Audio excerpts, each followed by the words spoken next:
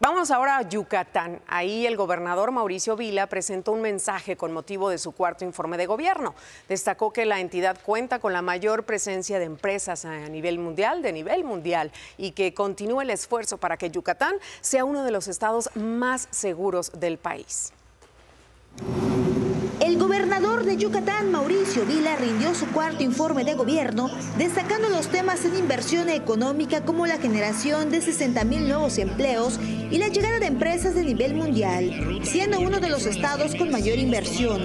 Vila Dosal señaló que para seguir siendo uno de los estados más seguros del país, se ha invertido en tecnología de punta, así como aumentar el presupuesto a las corporaciones policíacas. El tema de la seguridad es algo que a todos nos preocupa. Y aquí en Yucatán hemos asumido el reto no solamente de conservar nuestra seguridad, sino de poderla acrecentar. Y mucha gente se pregunta, oye, ¿y qué pasa en Yucatán? Pues lo que quiero decirles es que hay un gran esfuerzo presupuestal. Miren, en 2018 el presupuesto de la Secretaría de Seguridad Pública era de 1.982 millones de pesos. Para este año es de 3.414, un incremento del 72% durante estos primeros primeros cuatro años. Vila Dosal mencionó los objetivos que tiene su gobierno como la renovación del transporte, construcción de albergues para mujeres que sufren violencia, nuevos hospitales, casa de asistencia al menor, así como generar gas natural para que bajen las tarifas eléctricas en el estado.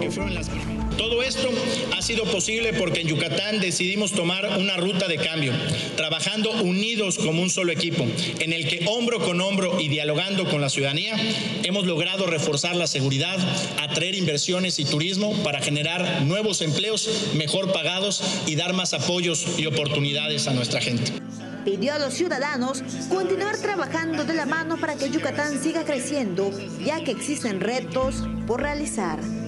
El mutuo respeto, el diálogo y la coordinación son piezas clave desde el primer día de mi gobierno. Son muchos los problemas que tiene el país como para que los gobernantes nos estemos metiendo los pies los unos a los otros. A nosotros lo único que nos mueve es trabajar juntos por la gente, nuestro Estado y el país. Eso es más importante que cualquier otra diferencia. Creo que los ciudadanos ya están cansados de confrontaciones estériles entre sus gobernantes. Lo que exigen es que los gobernantes demos resultados. En el informe estuvieron presentes gobernadores, senadores, diputados federales y locales, el sector empresarial y sindical, así como representantes de partidos y de la sociedad civil. Para Imagen informó Flor Castillo. ¿Cómo está hoy, iniciando semana, el precio del dólar, del euro? Acompáñeme, vamos a los dineros. El dólar, 18 pesos con 21 centavos a la compra y 19 pesos con 20.